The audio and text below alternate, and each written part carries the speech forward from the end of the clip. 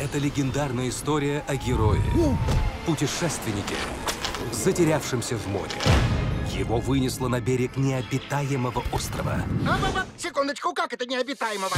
Меня зовут Робинзон. Мой корабль разбился, я на острове, выживаю как могу. Помогите! Морское чудище вылезло на берег. Атаку!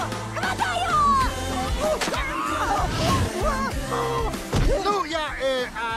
Нельзя сказать, что мы сразу подружились.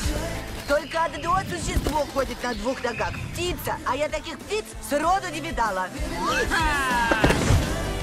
Он сбрасывает кожу. Я не могу на это смотреть. Робинзон Крузо. Я вам расскажу, как все было на самом деле. Отправляемся скоро. В 3D.